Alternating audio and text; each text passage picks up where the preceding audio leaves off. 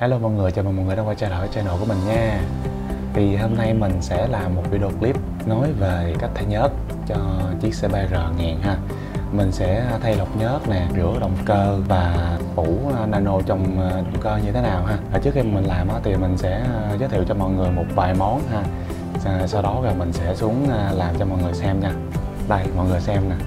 Thì trước khi mà mình đi tour xa mọi người thì một chiếc xe mình phải ờ, kiểm tra lại nhớt, rồi lọc gió, lọc nhớt này nọ. Thì sắp tới thì mình sẽ đi ờ, Đà Lạt á mọi người. Trước khi mà đi Đà Lạt thì mình sẽ bảo dưỡng xe CBR trước của mình ha. Thì ở đây mình có ba bình nhớt Shell Advent ờ, ba bình này là xe Advent Ultra ha mọi người. Đây, là 15W50 ha. Đây là loại tốt nhất của Shell ha. Thì ở đây nó có mã code này mọi người đó mọi người có thể nhìn thấy nó có mã code bình này là bình 1 lít nha. Đó 100% là nhất tổng hợp.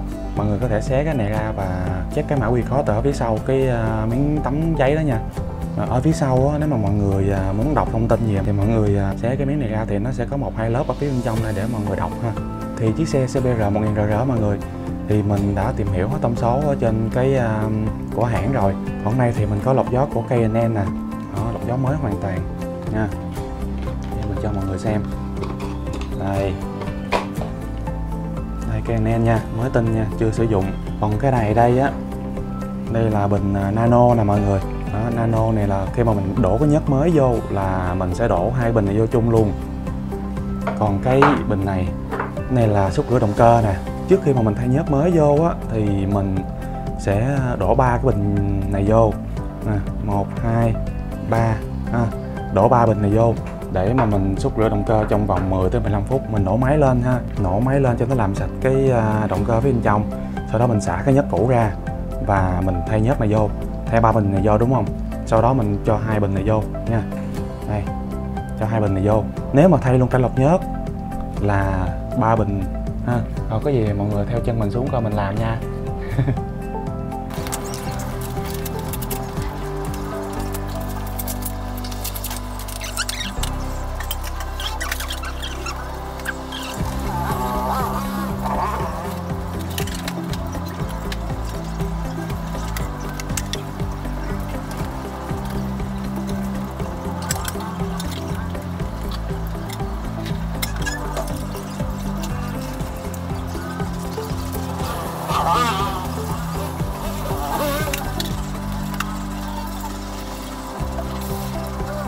Rồi đây mọi người sau khi mà mình đã à, gắp cây bô đó vô ha, Cái này là cây bô zin nha.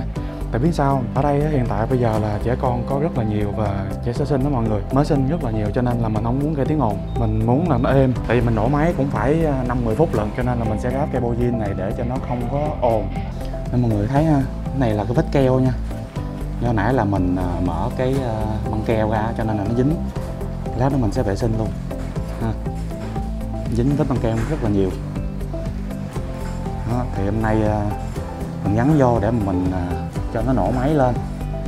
Trong nhà mà mọi người đó cho nên là mình ý tới một chút xíu để cho nó không có ồn mà ra phía bên ngoài mọi người. Ồn thì cũng ồn nhưng mà nó cũng chỉ một, một số ít thôi chứ nó không có la làng lên ha. Rồi thì giờ mình sẽ đổ ba chai này vô nha mọi người. Đổ ba chai này vô nhớ cũ ha. Đây đây là một chai nè. Đó, mở nó ra.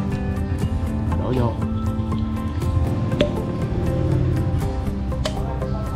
Đó, thì giờ mình sẽ đổ vô đây nha. Một bình. Hai bình. Ba lít nhớt thì mình đổ ba bình này vô nha. Lấy tới giọt cuối cùng. Rồi. Xong rồi đó, giờ mình sẽ lấy cái nắp ra, mình đẩy nắp vô. Đẩy cái nắp nhớt vô nè.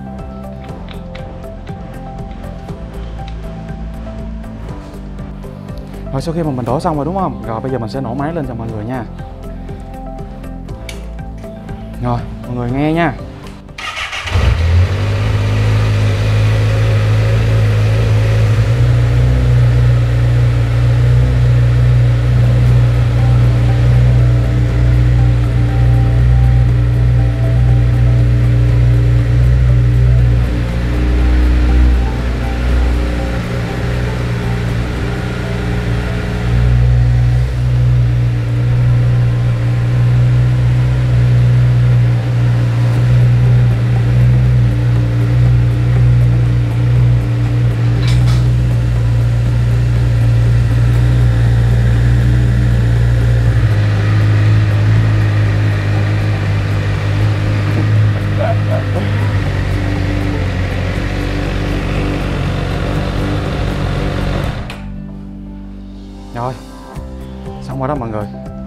Sẽ để dậy khoảng à, 50 phút sau là mình sẽ xả nhớt cũ ra nha.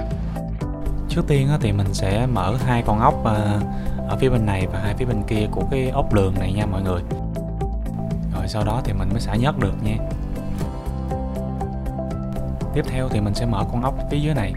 Như mọi người có thể thấy thì nó rất là nhỏ nha. Khi mà mở con này xong thì mình sẽ mở cái lọc nhớt nè.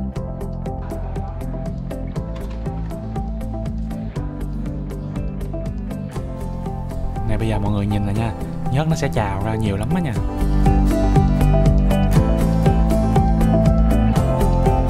Rồi bây giờ mình sẽ nghiêng xe một chút xíu để cho nó ra hết nhớt luôn nha mọi người.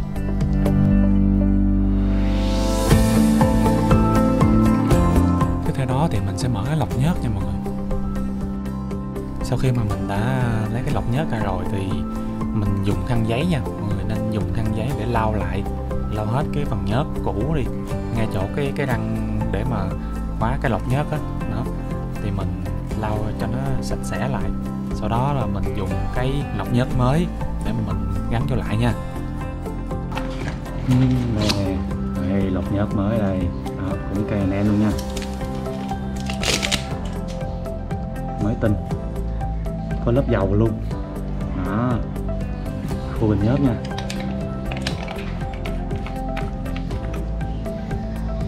Chưa mở siêu.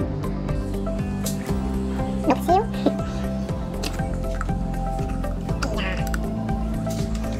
Đây mình cho một ít vô đây nha mọi người. Ít thôi. Ít thôi được rồi. Đó. Cho nó ấy là hết đi. Rồi bôi trơn lại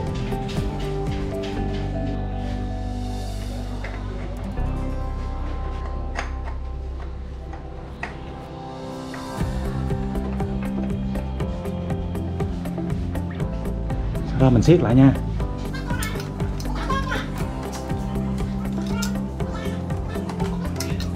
Rồi, bây giờ mình sẽ đổ nhớt vô nha mọi người. Mình sẽ đổ nhớt vô trong máy nha. Nhớ lau lại cái nắp nhớt nha mọi người. Lau lại cái nắp nhớt để cho nó không có dính lại cái nhớt cũ nữa nha.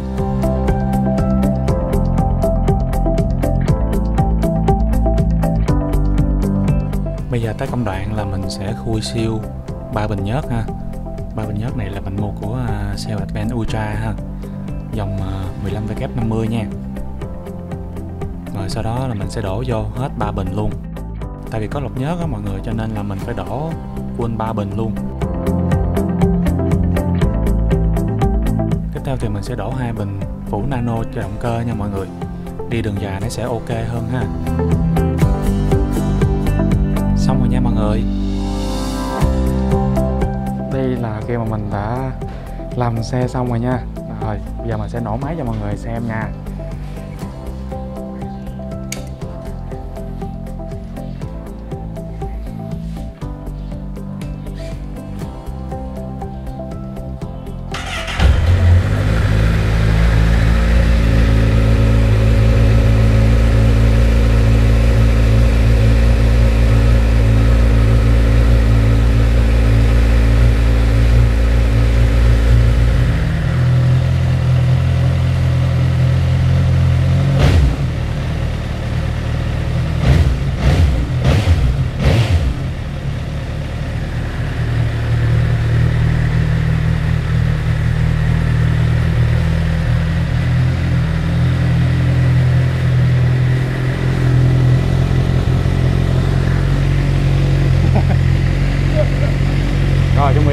Mọi người có này bắn nha mọi người.